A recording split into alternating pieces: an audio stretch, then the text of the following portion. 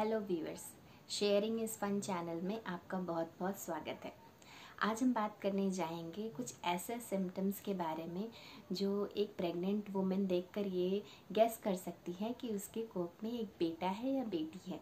मैंने भी अपने प्रेगनेंसी के दौरान ये सब बहुत सारे सिम्टम चेक किए थे और आ, बहुत कुछ सही भी होता है और बहुत कुछ नहीं भी होता है। ये जस्ट फॉर फन है ऐसा कुछ होता नहीं है कि ये एग्जैक्ट बता देता है। बट स्टिल हाँ एक न्यू मॉम के लिए ये काफ़ी एक्साइटिंग होता है ये जानना कि आ, वो जो बेबी उसके अंदर है वो एक लड़का है या लड़की है? दोनों उनके लिए उतना ही बराबर होता है चाहे वो लड़का हो चाहे वो लड़की हो।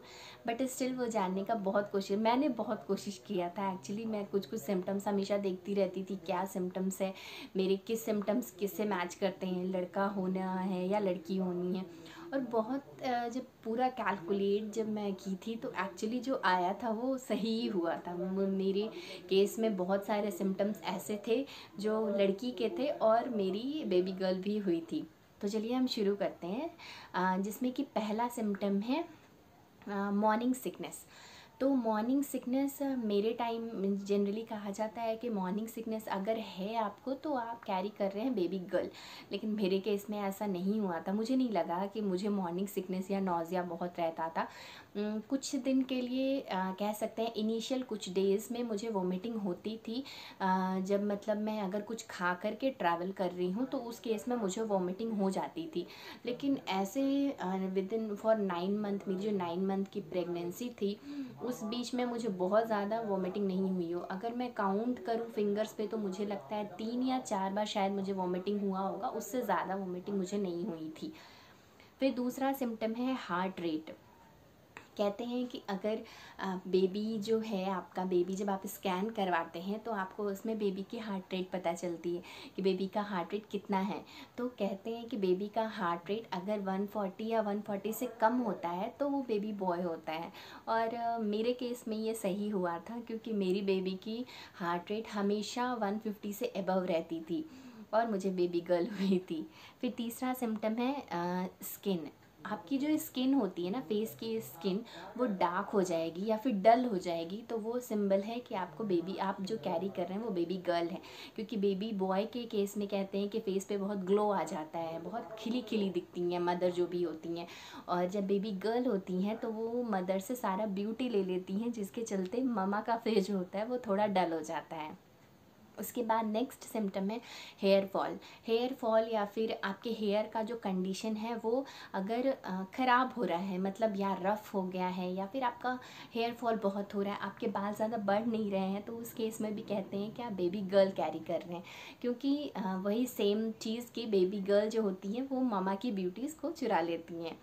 फिर मेरे केस में ये दोनों हुआ था। मेरे फेस भी बहुत डल हो गए थे और मेरे हेयर फॉल हेयर फॉल नहीं हुए थे बट मेरे हेयर डल हो गए थे। उतने अच्छे नहीं थे रफ़ जैसे थे मेरे हेयर फिर उसके बाद आता है स्पाइसी फ़ूड क्रेविंग क्रेविंग मतलब कि ममा को क्या खाने का मन हो रहा है? बहुत स्पाइसी या खट्टा खाने को ज़्यादा मन करता है या स्वीट खाने को मन करता है? तो कहते हैं कि स्वीट खाने को मन अगर करता है ज़्यादा तो आप बेबी गर्ल कैरी कर रहे हैं। और अगर आप स्पाइसी या सॉल्टी खाना पसंद कर रहे हैं तो आप बेबी बॉय कैरी कर रहे हैं। मेरे केस में ये पॉइंट भी बिल्कुल सही हुआ था। मुझे स्वीट मैं बहुत स्वीट खाई थी एक्चुअली मैं डब्बे डब्बे का मतलब गुलाब जामुन का डब्बा रखी रहती थी मैं, क्योंकि मुझे जब क्रेविंग मतलब होता है ना तो आपको लगता है कि बस अब जल्दी से हमको दे दो, ऐसा होता है। तो मैं उस वक्त में मीठा बहुत खाई थी। फिर उसके बाद है टमी पोजीशन। आप जो बेबी कैरी करते हैं, ये जनरली मुझे लगता है कि ये आपको एट मंथ में पता चलता है एग्जैक्टली exactly कि आपका जो बेबी टमी है वो नीचे की तरफ़ है या ऊपर की तरफ़ है। मेरे केस में ये ये पॉइंट भी सही हुआ था क्योंकि मेरी बेबी के जो बम्प्स थे ना वो ऊपर थे। मतलब एकदम आपके ना ब्रेस्ट से टच होता है, वैसा भी बम्प रहेगा, अगर आप बेबी गर्ल कैरी कर रहे हो तो। तो ये पॉइंट भी मेरे केस में सही था। इवन मेरी कज़न को बेबी बॉय हुआ है और उसने मुझे ये पॉइंट भी बताया था कि वो उसका जो है ना, वो लो कैरी कर रही है। मतलब उसे हमेशा लगता है ना कि उसका बेबी बहुत नीचे की तरफ़ है। तो ये पॉइंट भी मेरे केस में सही हुआ था। मेरी जो बेबी बम्प थे, वो ऊपर की तरफ़ थे। फिर उसके बाद आता है मूड स्विंग्स कहते हैं कि अगर आपका मूड फ्रिक्वेंटली चेंज हो रहा है, आप खुश हैं, फिर तुरंत गुस्से हो जा रहे हैं, या फिर आपको चिड़चिड़ापन लग रहा है, या बहुत मूडी हैं तो आप हो सकता है गर्ल कैरी कर रहे होंगे। और अगर आप नॉर्मल हैं हैप्पी हैं तो आप बॉय कैरी कर रहे हैं। लेकिन ये मेरे केस में नहीं हुआ था। मुझे नहीं लगा कि मैं बहुत चिड़चिड़ी हो गई थी या बहुत गुस्सा होती थी। मुझे नॉर्मली मैं खुश थी, बहुत खुश थी। एक्चुअली मेरी पहली प्रेगनेंसी में मैं बहुत खुश रही हूँ। आप मेरे वीडियोज़ भी देख सकते हैं। पहले के मैं अपनी प्रेगनेंसी के वीडियोज़ भी डाल चुकी हूँ। वो ऑलरेडी प्ले में अवेलेबल है। वहाँ से जाकर आप देख सकते हैं। मैं काफ़ी खुश थी अपने प्रेगनेंसी के दौरान। तो उसमें मैं ये नहीं कहूँगी कि मूड स्विंग्स मुझे हुए थे। मेरी बेबी गर्ल के टाइम में। फिर उसके बाद कहते हैं कि जो आप यूरिन का कलर जो है ना, अगर आपके यूरिन का कलर थोड़ा डार्क हो जाता है तो आप शायद बेबी बॉय कैरी कर रहे हैं। मेरे केस में ये था, मेरे यूरिन का कलर में कोई चेंजेस नहीं आया था, वो बिल्कुल नॉर्मल था। मुझे लगता है कि ये पॉइंट पता नहीं वैलिड है या नहीं। माइट भी आप, अगर पानी सही से पिए तो आपके यूरिन का कलर नॉर्मल रहेगा। अगर आप पानी में कम करें, पानी कम पिए तो शायद आपका यूरिन का कलर डार्क हो जाएगा। मुझे साइंटिफिक ऐसा लगता है, लेकिन I am not sure about it may be जो baby girl baby boy carry कर रही हूँ, वो ज़्यादा अच्छे से इस बारे में आपको बता पाएँगी। मेरे केस में ऐसा नहीं हुआ था। मेरे यूरिन में कलर में कोई चेंजेस नहीं आए थे। बहुत नॉर्मल था वो, जैसे हमेशा रहता है, वैसे ही था। कोई डार्कनेस या लाइटनेस मुझे फील नहीं हुए थे। फिर उसके बाद है नेक्स्ट ब्रेस्ट साइज़ में चेंजेस आते हैं। एक्चुअली जब हम प्रेग्नेंट होते हैं तो उस टाइम हमारा ब्रेस्ट जो होता है, वो लैक्टेशन के लिए तैयार होना लगता है, होने लगता है। क्योंकि उसमें मिल्क का प्रोडक्शन शुरू करना होता है तो काफ़ी सारे चेंजेस आते हैं। इवन उसके साइज़ जो है, बड़े और छोटे होते हैं। बड़े होते हैं एक्चुअली छोटे नहीं होते हैं, बड़े होते हैं। और फिर उसके बाद तो आप नोटिस करोगे कि आपका कोई एक ब्रेस्ट ना थोड़ा बड़ा है या थोड़ा छोटा है। कंपैरेटिवली अगर आपका राइट right साइड का ब्रेस्ट जो है वो ज़्यादा बड़ा है लेफ़्ट वाले के कंपैरिजन में तो कहते हैं कि बेबी गर्ल होती बेबी बॉय होता है। मेरे केस में ऐसा नहीं हुआ था। मुझे लगा था कि मेरा राइट right का साइड जैसे कि थोड़ा ज़्यादा मुझे लगता था, लेकिन मे बी मेरी बेबी गर्ल ही हुई थी। फिर उसके बाद है कोल्ड फीट अगर आपके पैर जो हैं, आपके तलवे, पैर का तलवा जो है, अगर वो ठंडा रहता है मोस्टली ठंड ठंड, ठंडा रहता है वो छूने पे तो उस केस में भी कहते हैं कि बेबी बॉय आप कैरी कर रहे हो। मेरे केस में ऐसा नहीं था, मेरा पैर एकदम नॉर्मल रहता था। मतलब नॉर्मल टेम्परेचर पे ही रहता था वैसा कुछ मुझे फील नहीं होता था कि बहुत ठंडा है। इनफैक्ट मुझे बहुत गर्मी लगता था। जब मैं बेबी गर्ल अपनी कैरी कर रही थी तो उस वक्त मुझे बहुत गर्मी लगता था।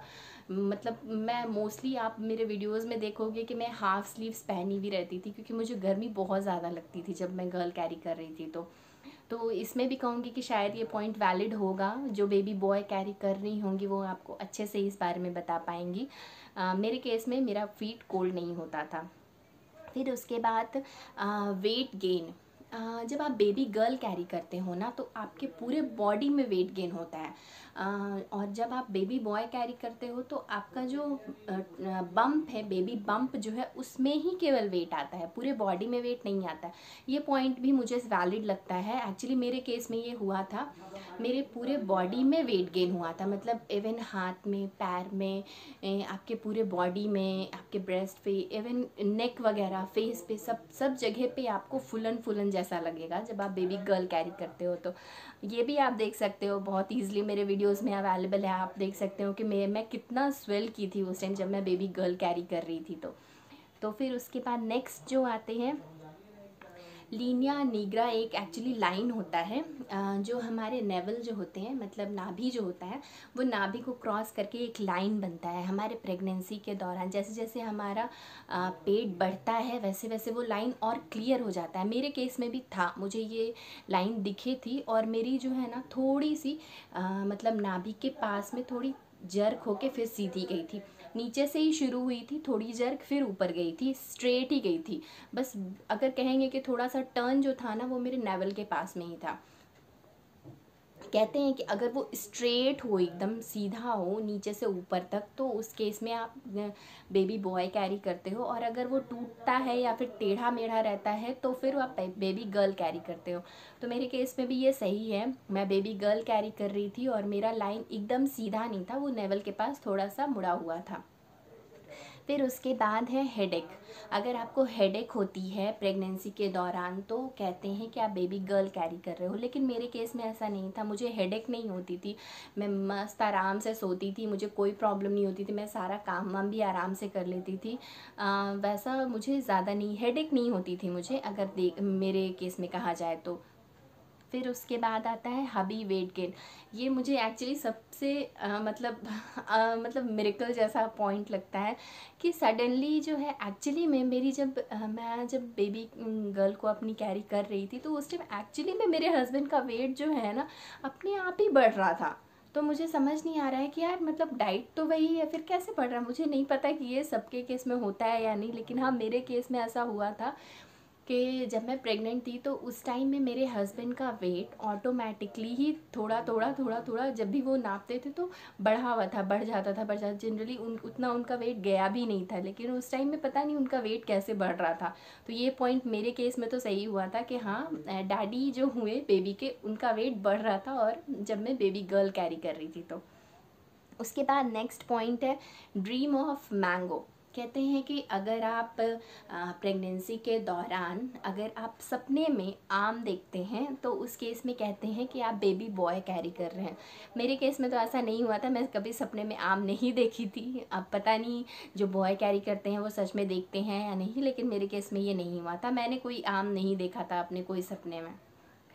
फिर उसके बाद आता है राउंड फेस मतलब कि वही, क्योंकि आप वेट गेन करते हैं बहुत ज़्यादा, आप ऑल ओवर भी बॉडी आप वेट गेन करते हैं। जब आप बेबी गर्ल कैरी करते हैं ना तो आपका फेस ना आपको राउंड लगेगा थोड़ा। और जब आप बेबी बॉय कैरी करते हैं तो आपके फेस में कोई चेंजेस नहीं लगेंगे। आपको जैसे आपका पहले फेस था ना, वैसे ही सेम सिमिलर फेस लगेगा। फिर उसके बाद आ, अगर आप बॉय कैरी कर रहे हैं तो आपकी जो पर्सनालिटी होती है ना वो भी धीरे धीरे करके ना मेल की तरह हो जाएगी। मतलब क्योंकि हम हमारे अंदर जो आ, मेल हारमोन्स होता है वो ज़्यादा डेवलप होने लगता है। अगर हम बेबी बॉय कैरी करते हैं तो हमारे पर्सनालिटी में चेंजेस आते हैं। हम हमें वो सब चीज़ करना अच्छा लगेगा जो जनरली मेल करते हैं। और अगर आप बेबी गर्ल कैरी कर रहे हो तो आपको वो सब चीज़ करना अच्छा होगा अच्छा लगेगा। जो आप, जो नॉर्मली गर्ल करती, जैसे सजना संवरना आपको अच्छा लगेगा, आपको घर पे रहना अच्छा लगेगा मतलब और बेबी बॉय अगर कैरी करें तो मतलब आपको मेकअप वेकअप करना उतना पसंद नहीं आएगा, उस टाइम में आपको फ़र्क नहीं पड़ेगा कि आप कैसे हो, जैसे भी हो, सब ठीक है, वैसा लगेगा मतलब आप समझ ही सकते हो मतलब पर्सनैलिटी ऑफ़ बॉय ज़्यादा आ जाएगी आपके अंदर। फिर उसके बाद जो है कि आप सोते किस तरफ़ हो? मतलब अगर आप लेफ़्ट साइड में सोते हो ज़्यादा मतलब करवट मतलब करवट लेफ़्ट साइड में लेकर के आप ज़्यादा सो रहे हो तो उस केस के में भी कहते हैं कि आपको बेबी बेबी बॉय हो सकता है। आ, तो मेरे केस में भी ये सही हुआ था। मैं अक्सर राइट साइड में एक्चुअली सोती थी और मैं बेबी गर्ल कैरी करी थी। मुझे नॉर्मली तो मैं लेफ़्ट साइड में सोती थी लेकिन मुझे नहीं पता कि मैं मतलब जब कंसीव की थी या बेबी गर्ल मेरे अंदर थी तो मुझे क्या लगता था या क्या कंफर्ट लगता था मैं अक्सर राइट साइड में ही होकर सोती थी। फिर उसके बाद आता है हैंड और पाम जो है ना आपके ड्राई होने लगेंगे। मतलब आ, आपको लोशन वगैरह की बहुत ज़रूरत होगी। लगेगा ना कि स्किन उखड़ रहा है ऐसा ऐसा फील होता है। तो वो भी कहा जाता है कि जब आप बेबी बेबी गर्ल कैरी कर रहे होते हो तो आपका ड्राइनेस होता है। मतलब कि मेरे स्किन्स वगैरह जो है पैर के उखड़ने लगे थे। मेरे केस में ये हुआ था एक्चुअली मेरे पैर और मेरे हाथ वगैरह ना बहुत ड्राई होने लगे थे। स्किन्स उखड़ते थे, ऐसे ऐसे करके स्किन उखड़ते थे और लोशन वगैरह लगाना पड़ता था। तो ये भी मेरे केस में हुआ था, मेरा स्किन काफ़ी ड्राई हो गया था। फिर उसके बाद हम बात करते हैं कि जो आपकी नाभि होती है ना, उसका भी शेप चेंज होता है। जैसे भी आपका बेबी बम्प जब बढ़ता है ना तो उसमें भी काफ़ी चेंजेस आते हैं। आपका आपका जो नाभि है, वो आप देखोगे नॉर्मल तो एक या तो स्माइली रहेगा या तो वो सैड फेस नीचे की तरफ़ रहेगा। तो कहते हैं कि जब वो स्माइली है, ऐसे ऊपर की तरफ़ दिख रहा है और थोड़ा बाहर की तरफ़ निकला हुआ है तो उस केस में कहते हैं कि बेबी बॉय है और अगर वो अंदर की तरफ़ घुसा हुआ है और सैड फेस टाइप का है। मतलब कि वो झुका हुआ है। तो उस केस में कहते हैं कि बेबी गर्ल होगी। लेकिन ये सिम्टम मेरे केस में नहीं हुआ था। मेरे केस में मेरी नावल बाहर की तरफ़ ही थी और एवन स्माइली जैसा लुक आ रहा था। मैं दो बिंदी लगा करके वो देखी भी थी। वो स्माइली अच्छे से आ रहा था। तो मेरे केस में ये ट्रू नहीं हुआ था। नेक्स्ट है फ्रीक्वेंट यूरिनेशन ये भी कहा जाता है कि अगर आप बेबी बॉय कैरी करते हो तो आपको यूरिनेशन जो है बहुत फ्रीक्वेंटली लगती है। आपको बार बार बाथरूम जाना पड़ता है। लेकिन मैं जब गर्ल कैरी कर रही थी तो मेरे केस में मुझे ऐसा नहीं लगता था कि मैं बहुत ज़्यादा बाथरूम जाए मैं नॉर्मल जाती थी। ऐसा नहीं कहूँगी कि जैसे नॉर्मल जब कंडीशन था, तब उतना ही था। थोड़ा बढ़ा था, लेकिन इतना भी नहीं कि मैं कंट्रोल नहीं कर पाऊँ। मतलब नॉर्मल था। लेकिन जनरली कहा जाता है कि आपकी यूरिनेशन की फ्रीक्वेंसी अगर बहुत ज़्यादा बढ़ गई या बार बार जा रहे हो तो उस केस में कहते हैं कि शायद आप बेबी बॉय कैरी कर रहे हैं। इनसोमनिया ये मुझे लगता है कि हाँ सही है एक्चुअली आप जब बेबी बॉय कैरी करते हो ना तो आपको नींद नहीं आती है। रात रात भर आप जग जाते हो और फिर भी आपको थकावट नहीं होती, आपको नींद नहीं आती। लेकिन जब आप बेबी गर्ल कैरी कर रहे होते हो तो आपको बहुत नींद आती है। आप इवन दिन दिन भर सो लेते हो आराम से। मेरे केस में भी ये हुआ था। मैं बहुत सोती थी। जब मेरी बेबी होने वाली थी तो उस टाइम मैं बहुत बहुत देर देर तक आराम से सोती रहती थी। फिर उसके बाद एक टेस्ट होता है actually baking soda bubble test in baking soda उसमें क्या करना होता है ना कि आप बेकिंग सोडा बेकिंग सोडा जो होता है, उसको थोड़े से पानी, ये तो नॉर्मल एक ग्लास में या फिर कोई भी कप में आप लो बेकिंग बेकिंग सोडा और उसमें अपना मॉर्निंग का फ़र्स्ट यूरिन उसमें आप मिलाओ। जैसे हम लोग प्रेगनेंसी टेस्ट करने के लिए पहला यूरिन लेते हैं ना? मॉर्निंग फ़र्स्ट यूरिन लेते हैं, वैसे ही आप फ़र्स्ट यूरिन मॉर्निंग का लो और उसमें ड्रॉप उसमें मतलब डालो बेकिंग सोडा में डालो। फिर आप देखो कि अगर उसमें झा मतलब झाग जैसा आता है बबल्स जैसा आता है तो कहते हैं कि आप बेबी बॉय कैरी कर रहे हो। और अगर वो कुछ नहीं होता है नॉर्मल रहता है तो आप बेबी गर्ल कैरी कर रहे हो। तो मेरे केस में ये भी सही हुआ था। कोई बबल्स कुछ नहीं हुए थे। मैं बेकिंग सोडा में आराम से अपना, जब यूरिन डाली थी तो वो नॉर्मल ही था। स्टेबल था, कोई बबल्स नहीं था उसमें। उसके बाद कहते हैं कि अगर आपकी डिलीवरी में डीले हो रही है मतलब कि जब आपका डेट दिया गया है, उससे एक्सटेंड हो रहा है डिलीवरी है आपका तो उस केस में भी कहते हैं कि आप बेबी गर्ल कैरी कर रहे हो। लेकिन मेरे केस में ऐसा नहीं हुआ था। मेरा डेट था सेवनटीन ऑफ़ अक्टूबर और मेरी बेबी जो है वो टेंथ ऑफ़ अक्टूबर को हो गई थी।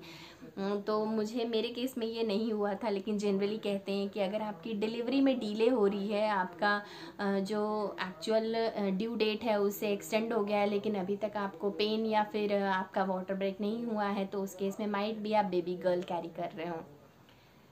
उसके बाद लेबर पेन जो लेबर पेन होती है, वो एक्चुअली बेबी गर्ल में ज़्यादा होती है as comparison to baby boy baby boy के केस में आपका लेबर पेन का जो ड्यूरेशन होता है ना, वो कम होता है और बेबी गर्ल के टाइम में आपका लेबर पेन का ड्यूरेशन ज़्यादा होता है. ये मेरे केस में भी सही हुआ था. मेरी ऑलमोस्ट बारह घंटे की लेबर पेन रही थी. उसके बाद हंगरी आप जब बेबी गर्ल कैरी करते हो ना तो आपको बहुत भूख लगती है एक्चुअली बहुत आप आप खाओगे फिर आपको भूख लग जाएगी। आप मतलब बहुत खाते हो, शायद इस वजह से ही पूरे बॉडी में वेट भी बढ़ जाता है। लेकिन आप बेबी गर्ल के टाइम में भूख आपको बहुत लगती है। वही अगर बेबी बॉय आप कैरी कर रहे हो तो आपको उतनी भूख नहीं लगती है, आपको मन नहीं होगा। बहुत सारी चीज़ें आपको पसंद ही नहीं आएँगी। तो ऐसा भी होता है। मेरे केस में भी ये ट्रू हुआ था। मैं, मुझे बहुत भूख लगती थी और मेरी डाइट एक्चुअली बढ़ गई थी। फिर उसके बाद है टायर्डनेस हाँ टायर्डनेस तो होती है। नॉर्मली भी प्रेगनेंसी में टायर्डनेस होती है, लेकिन कहते हैं कि बेबी गर्ल अगर आप कैरी कर रहे हो तो आप जल्दी टायर्ड हो जाओगे। आपको थकावट ज़्यादा लगेगी। वही अगर आप बेबी बॉय कैरी कर रहे होंगे तो आप बहुत एक्टिव रहोगे। आप पूरे दिन एक्टिव रहोगे, सब काम वाम कर लोगे, फिर भी आपको थकावट नहीं महसूस होती है। तो ये भी मेरे केस में सही हुआ था। मैं काफ़ी टायर्ड फील करती थी। कोई भी काम करने के बाद मुझे टायर्डनेस लगने लगता था।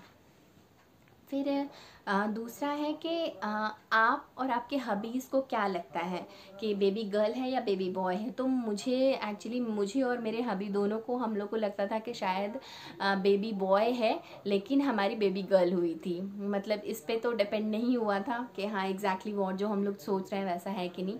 तो इस केस में आ, मेरी हम लोग दोनों सोचते थे कि शायद बेबी बॉय है लेकिन हमारी बेबी गर्ल हुई थी।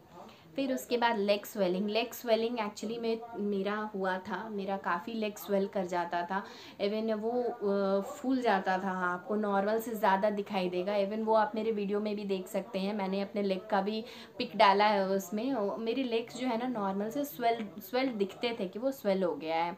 तो ये भी कहते हैं कि आप बेबी गर्ल कैरी कर रहे हो तो, तो आपके लेग में स्वेलिंग होती है. मेरे केस में ये ट्रू था. उसके बाद आपकी जो नोज़ होती है ना, वो स्वेल कर जाती है, वो एक्चुअली बड़ी दिखेगी।